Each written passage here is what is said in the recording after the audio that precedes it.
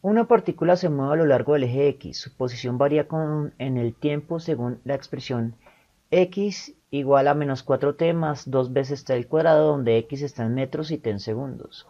Nos piden encontrar la velocidad instantánea. Entonces voy a definir esto. Rx en lugar de X para que se quede claro que esto es el vector posición en X, que va a ser igual a entre paréntesis, menos 4t más 2 veces t al cuadrado. ¿Y por qué en paréntesis? Pues por la sencilla razón de que la ecuación tal cual nos la da el enunciado no tiene sentido dimensional. Falta una constante de proporcionalidad que nos corrija las unidades. Si reemplazáramos a ciegas aquí, el valor da en segundos. Por lo tanto, en segundos al cuadrado, de hecho. Pero ni siquiera eso, porque el término 4t no podría sumarse con el término 2t al cuadrado porque esa parte tampoco tiene sentido dimensional. 4 debe estar multiplicado por segundo para que ahora sí al interior tengamos segundo al cuadrado, pero debemos arrojar el resultado en metros. De allí que la constante de proporcionalidad nos corrige eso, dándonos un valor metro segundo al cuadrado. Eso cancelará las unidades de tiempo segundo al cuadrado y nos arrojará el resultado en metros, pero dejémoslo como constante por el momento. Ahora lo que voy a hacer es plantear la definición de velocidad instantánea. Pero la velocidad instantánea en ese caso no es el desplazamiento como lo hemos venido definiendo, sino el desplazamiento instantáneo, o sea, el cambio infinitesimal en el vector de posición en x sobre el cambio infinitesimal en el tiempo. Pero el vector posición en x está dado por esta fórmula. Así que aparece una fórmula de derivación, en la cual debemos derivar la fórmula anterior con respecto al tiempo. Así que hay que hacer o aplicar técnicas de derivación. La variable de derivación es el tiempo. Todo lo demás se va a asumir como una constante.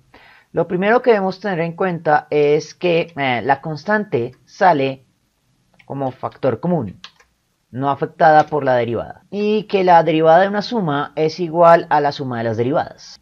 Adicionalmente, el negativo sale como factor común de esa derivada, el 4 segundos también adiós, aquí el 2 también se va, con lo cual obtenemos dos derivadas simples, la derivada de tiempo con respecto al cambio de tiempo y la derivada de tiempo al cuadrado con respecto al cambio infinitesimal en el tiempo.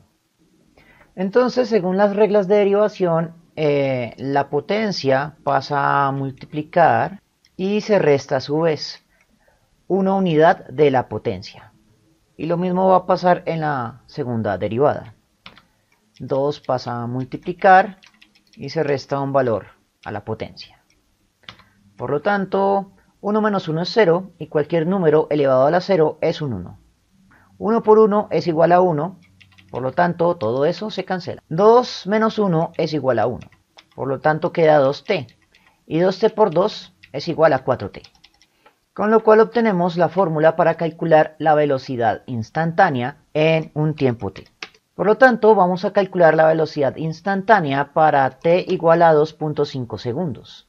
Y comenzamos a reemplazar. El valor de la constante, metro sobre segundo al cuadrado, menos 4 segundos más 4 veces t. Y t instantáneo es 2.5 segundos. Segundo sale como factor común y se cancela con uno de los segundos de la potencia. Por lo tanto, el resultado va a quedar en unidades de metro sobre segundo, justo lo que esperamos de una velocidad instantánea. Y lo único que queda es operar los valores. El doble de 2.5 es 5 y el doble de eso es 10. 10 menos 4 es igual a 6. Por lo tanto, la velocidad instantánea en 2.5 segundos es 6.0 metro sobre segundo. Bien, eso fue todo por el momento. En la descripción del video voy a dejar enlaces a más ejercicios de movimiento en una dimensión. Si les gustó el video no olviden suscribirse, darle like y especialmente compartirlo. Eso mantiene vivo a este canal y nos vemos en una próxima oportunidad.